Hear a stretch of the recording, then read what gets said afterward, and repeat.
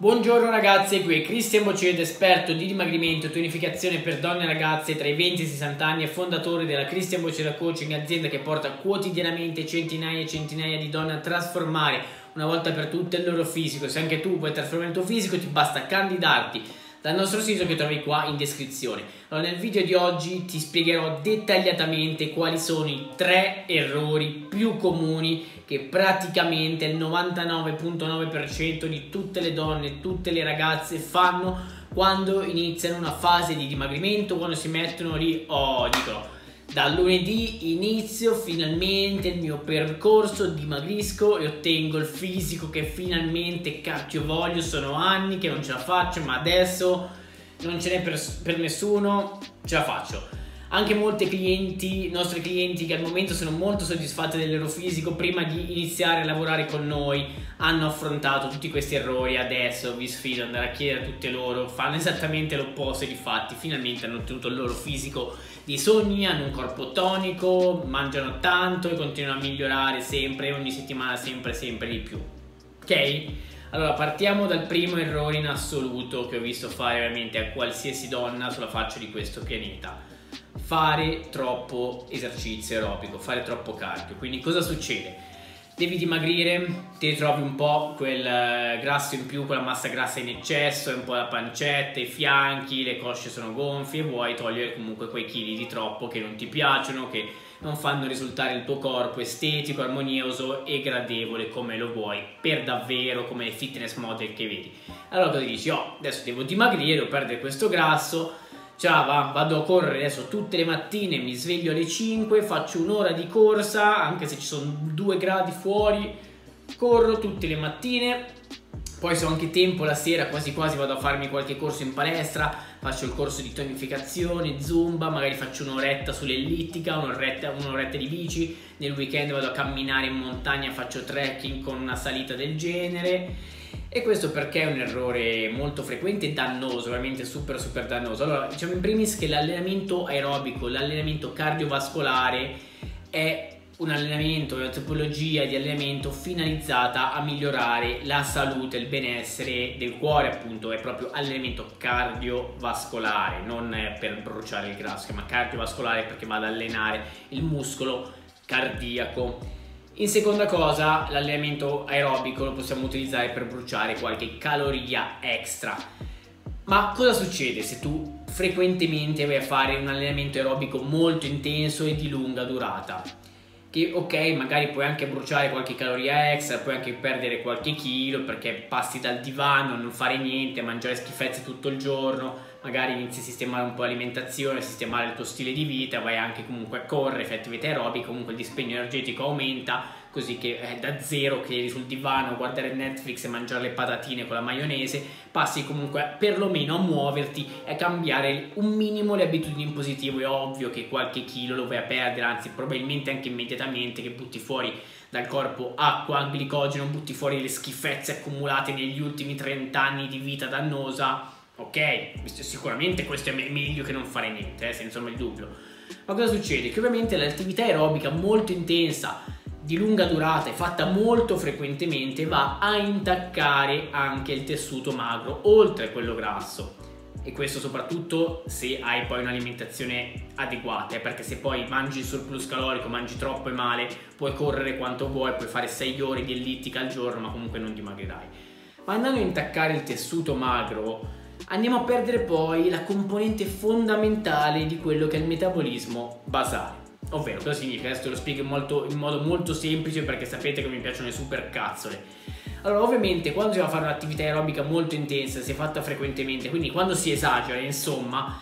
il corpo ha bisogno di questa energia extra che richiede, dovrà andare a prendere da qualche parte dopo che è andato ad attingere a, al tessuto grasso, ma se si fa un'attività troppo intensa, comunque va a sfruttare anche le proteine muscolari, il glicogeno muscolare, comunque tutta la componente del tessuto magro come fonte energetica. E se appunto lo fai troppo, esageri troppo spesso, troppo frequentemente di lunga durata, ne va a utilizzare di, pare- di parecchie scorte del tessuto magro quindi sappiamo benissimo, come ho spiegato già in un milione di video, lo ripeto quotidianamente, che l'unico modo che hai di aumentare il tuo metabolismo basale è quello di avere più massa muscolare.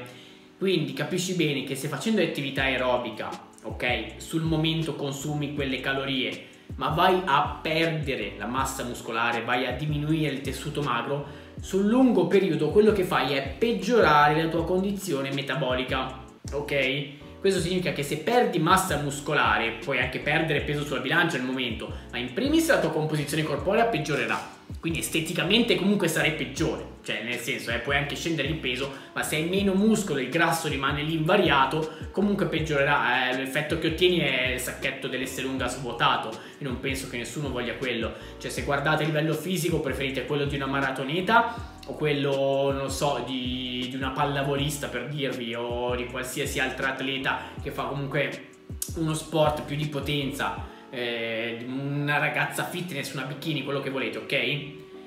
Quindi se continuate a perdere massa muscolare, peggiorate esteticamente e andate a peggiorare la vostra condizione metabolica, il vostro metabolismo basale. Così che sul lungo periodo perdete muscolo, esteticamente continuate a peggiorare non eh, andate incontro poi anche a problematiche patologiche abbastanza importanti perché poi se continuate a bruciare il muscolo arrivate in un momento in cui se mangiate mille calorie ingrassate cosa fate? Poi li continuate a correre sempre di più a mangiare sempre di meno? Così che a lunghissimo periodo veramente andate incontro in quegli stalli che appena mangiate mezza mela di più ingrassate. E non sapete neanche perché perché eppure cacchio sono a dieta mangio bene corro tutti i giorni ok quindi non fate questo errore, il vostro obiettivo è quello di preservare perlomeno e migliorare il più possibile la massa muscolare, è l'unica, è l'unica componente su cui possiamo agire per aumentare il metabolismo basale. Il metabolismo basale consuma le calorie date dal corpo all'interno, quindi dagli organi, la respirazione, tutte le attività vitali, la vista, il cuore che batte, il, grasso, il tessuto muscolare, il tessuto magro, le ossa, i tendini, i legamenti, tutto, tutto quello che ci tiene in vita a riposo, ok? Più muscolo hai, quindi più componente muscolare e metabolica attiva hai e più consumi calorie, quindi il muscolo tu lo vuoi tenere, no, non sto parlando di diventare grosse, enormi, tu vuoi preservare quel dannato muscolo perché è quello che ti fa consumare più calorie e ti, fa, e ti dà altri tantissimi benefici a livelli incredibili che ho spiegato in mille altri video vatteli a reperire oppure scrivi a qualche, qualcuno dei nostri clienti e gli chiedi se è mai diventata grossa o ha ottenuto un fisico da bodybuilder che non gli piaceva sollevando quei dannati pesi e aumentando sta cavolo di dannata massa muscolare ok? buono. Passiamo al secondo punto. Eliminare i carboidrati o eliminare i grassi o eliminare qualsiasi categoria di alimenti, di macronutrienti. Perché è sbagliata questa cosa? Perché sappiamo benissimo che non esistono cibi buoni o cibi cattivi, cibi che fanno ingrassare, cibi che non fanno ingrassare, addirittura intere categorie di alimenti che fanno ingrassare o dimagrire. I carboidrati presi singolarmente non fanno ingrassare, anzi, i grassi presi singolarmente non fanno ingrassare, anzi, le proteine prese singolarmente non fanno ingrassare, anzi, queste sono le più importanti. E no, come ho già spiegato anche qui veramente mille mille volte, la tua dieta non deve avere un nome, deve essere uno stile di vita equilibrato, sostenibile, moderato, che ti porta ad avere equilibrati macronutrienti, micronutrienti, le calorie e lo puoi gestire in modo anche piacevole per sempre non sono i carboidrati a fare ingrassare, anzi se ti alleni duramente, intensamente con i pesi, i carboidrati sono fondamentali a scopo energetico, sono quelli che ti danno le energie per spingere quei dannati pesi in palestra che ti fanno migliorare il muscolo e ci ricolleghiamo al punto precedente. I grassi non fanno ingrassare, svolgono funzioni vitali, specialmente per una donna, regolano tante funzioni ormonali, regolano l'assorbimento delle vitamine, regolano il sistema immunitario, hanno veramente delle funzioni fondamentali.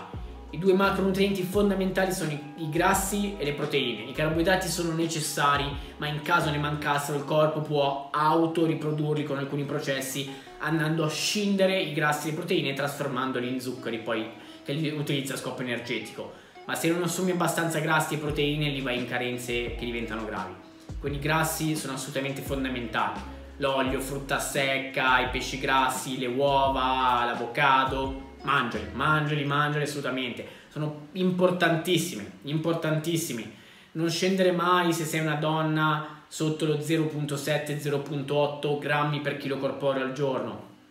Per brevi periodi si può anche scendere leggermente, ma non te lo, te lo sconsiglio assolutamente, fai attenzione in modo particolare ai grassi.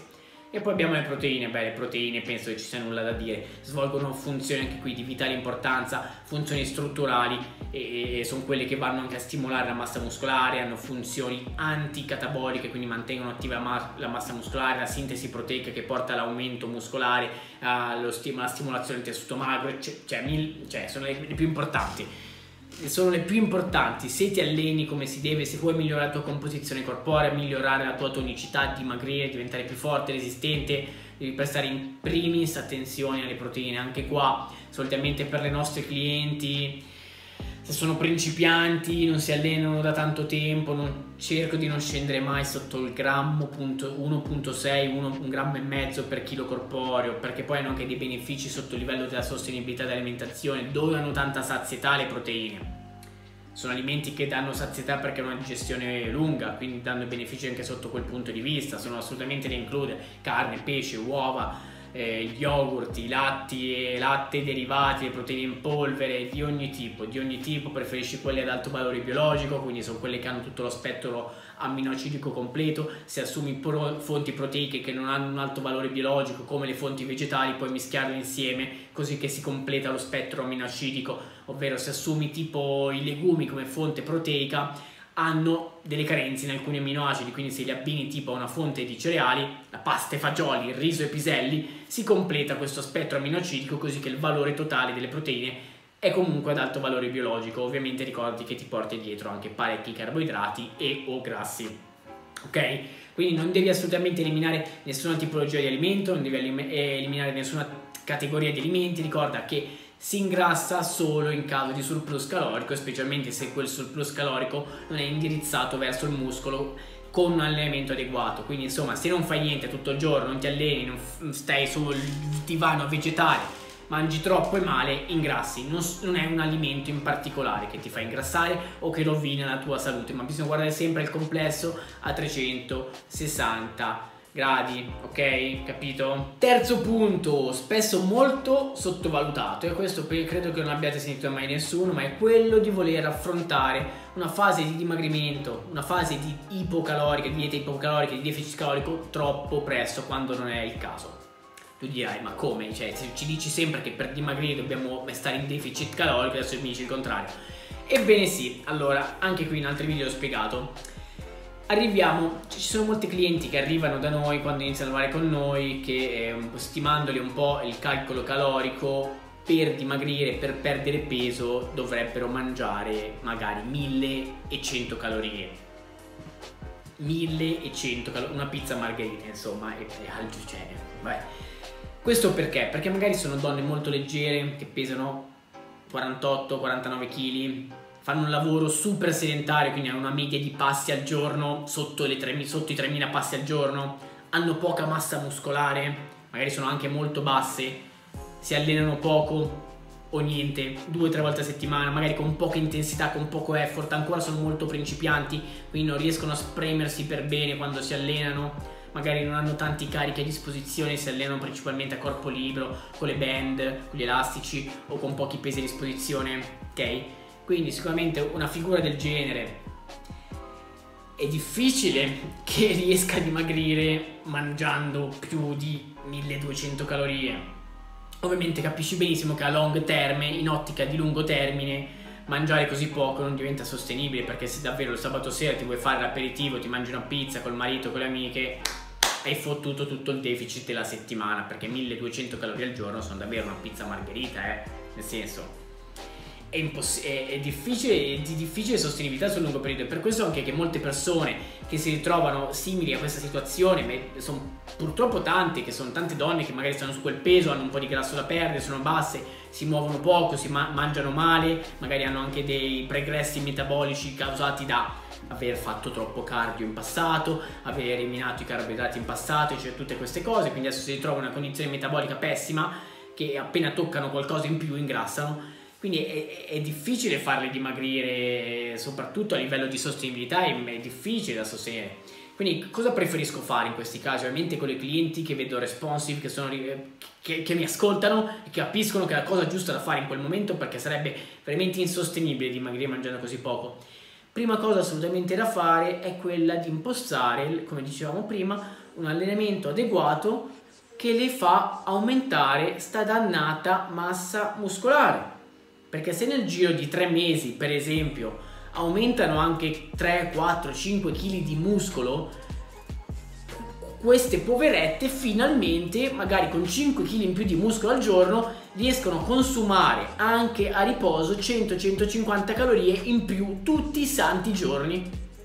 Così che in una settimana possono mangiare 1000 calorie in più, così che magari il loro deficit precedente, iniziale, è, è di 1100 calorie, adesso dopo che hanno aumentato 5 kg di muscolo, magari il loro deficit diventa, inizia a essere 1300 1250 perlomeno 1350 a seconda poi di quanto muscolo mettono. E sicuramente se hanno aumentato così tanto il muscolo perché hanno aumentato anche l'allenamento si stanno allenando bene hanno aumentato il consumo diretto dell'allenamento stesso si spremono di più hanno capito come fare gli esercizi con che tecnica con qual è corretta riescono a metterci a giusta intensità il giusto effort così che abbiamo anche un consumo calorico e un consumo di glicogeno muscolare di carboidrati zuccheri grassi fonti energetiche date dallo stesso allenamento maggiore. Così per farla semplice, magari a inizio percorso dimagriscono mangiando 1000, 1100 calorie, dopo tre mesi possono dimagrire mangiando 1400 e già è una cosa completamente differente. Secondo punto su cui bisogna andare a lavorare è quello del NEAT, Non Exercise Activity Thermogenesis, ovvero il consumo energetico dato da tutte quelle attività che non sono strettamente legate all'attività fisica, non sono strettamente legate allo sport, all'esercizio, gesticolare quando si parla, il muoversi, camminare, il tipo di lavoro che si fa, eccetera, eccetera, eccetera. Anche qui ne ho già parlato mille volte. Quindi andare a lavorare sul movimento quotidiano in primis. Come dicevamo prima, se fanno un lavoro molto sedentario da meno di 2000 passi al giorno, abbiamo sistemato l'aspetto dell'allenamento, hanno aumentato la massa muscolare, magari diciamo, senti, cara Francesca, cara Martina, cerchiamo di aumentare un po' il movimento quotidiano, magari invece che stare seduta 16 ore al giorno, prova ogni oretta perlomeno ti alzi, ti muovi un pelo, magari fai 10 squat se stai lavorando a casa, oppure ti aggiungi una, una camminata di mezz'oretta al mattino, una camminata di mezz'oretta dopo cena, cerchi di parcheggiare più lontano quando vai al lavoro, ti muovi di più a piedi, cerchi, vai in bici a lavorare, scendi alla fermata prima dell'autobus e vai, vai a piedi al lavoro, ok? Magari porti fuori il cane una volta in più in quella giornata, ti fai una camminata nel weekend in mezzo ai boschi, in mezzo alla natura che ti fa anche bene all'umore Così cerchiamo di portare la media settimanale dei passi magari da 2000, iniziamo ad andare a 5000 magari, 6000, che non è così impossibile, 6000 passi al giorno, vi dico, li ho fatti già adesso praticamente e non mi sono mosso di casa, cioè significa fare una camminata di 20-30 minuti al giorno, fare 6000 passi, eh, è proprio nulla. Chi fa meno di 3000 passi al giorno significa che passa dal divano al letto, allo stare seduto in ufficio, eh, muoversi solo in macchina, non cammina, non prende neanche le scale a casa, eh, ecco anche lì nel senso se abitate al primo, secondo piano, terzo piano, cercate di abolire l'ascensore, magari andate a piedi, che tanto fare due o tre piani a piedi a salire e scendere non vi fa certamente male, eh? Anche se avete una borsa della spesa non succede nulla, cacchio. Un conto se avete sei casse d'acqua, va bene. Soprattutto se state al primo o al secondo piano, l'ascensore cosa vi serve? Anche lì mi dite, eh, vabbè, io abito al decimo piano, va bene, posso concepirlo, magari puoi farti anche i primi due piani a piedi e poi prendi l'ascensore per dirti, cioè le, le strategie si trovano se si vogliono trovare. Nel senso, in una giornata, se parcheggi un po' più lontano quando vai al lavoro, inserisci una camminata di mezz'oretta al mattino e magari esci a portare fuori il cane alla cena, a sera, dopo cena. Nella giornata lavorativa invece che stare completamente seduto davanti al PC tutto il tempo, ogni oretta ti alzi, fai 10 passi avanti e indietro, vai in bagno a bere un bicchiere d'acqua. Nel weekend fai una passeggiata bella lunga in mezzo alla natura magari in palestra dopo l'allenamento fai 5 minuti sul tepirulana a livello molto blando, in una settimana abbiamo accumulato quei 4-5 mila passi in più di media. Capisci bene che quel dispendio calorico energetico quotidiano inizia a aumentare almeno anche di un 100-150 calorie al giorno. Così che abbiamo aumentato il muscolo, abbiamo aumentato il dispendio energetico dato dal movimento quotidiano, siamo passati da 1100 calorie per dimagrire, magari siamo arrivati a 1500 calorie per dimagrire. Eh, è tutt'altra storia, eh? Che poi col giusto percorso, il giusto allenamento, il giusto piano nutrizionale, magari dopo un po' di tempo riusciamo anche effettuare un percorso di reverse diet che così diamo quel boost metabolico dopo magari sei mesi che lavorano con noi i nostri clienti sono entrate a 1100 calorie che per dimagrire, magari dopo 6 mesi ne possono mangiare 2100 per dimagrire, con una composizione corporea totalmente diversa, con un fisico armonico, estetico, cioè che è rivoluzionato, con i glutei belli alti, solidi, le gambe snelle definite, l'addome asciutto e definito, le spalle un po' più rotonde, le braccia senza tendine, belle toniche, con un fisico come diavolo piace a loro, riescono a fare un'alimentazione più sostenibile perché mangiano il doppio, possono concedersi gli aperitivi fuori, una pizza col partner senza paranoie, stress, vivono tutto più serenamente, si approcciano al fitness, all'allenamento, alla dieta come diavolo gli piace a loro, senza sbattimenti, fanno le cose che si devono, se allenano quelle tre volte a settimana da un'oretta, ma quando entrano in palestra o quando arrivano a casa e prendono i pesi, si concentrano, spingono come si deve, è tutta un'altra storia. Hai capito che quali sono i tre errori, eh? Cioè, è chiaro. E queste sono cose veramente molto frequenti perché se, se, pensi anche nella tua immaginario comune, quando senti l'amica, la collega dice no, da, da lunedì mi metto a dieta, elimino i carboidrati dopo le 5 al mattino vado a correre tutte le mattine un'ora, in più faccio il corso di tonificazione in palestra tre volte a settimana e mi metto subito in deficit calorico 900 calorie al giorno. Dopo un mese sono fottute, cioè hanno, hanno distrutto il loro corpo e il loro fisico. Quindi no, attenzione a non fare questi errori perché sono fatali, poi sul lungo periodo puoi andare incontro anche a problematiche più di, di, di grave entità. Attenzione. Ti ricordo quindi se vuoi trasformare il tuo fisico definitivamente senza fare errori del genere, ma essere seguita passo a passo con, da un team di professionisti che sanno dirti cosa devi fare nel modo corretto, puoi candidarti al nostro coaching dal sito che trovi qua in descrizione, cristianvocidacoaching.com, vai sul sito, trovi un bel form da compilare, compilare molto dettagliatamente. Se vieni accettata, vieni ricontattata poi da un mio fitness coach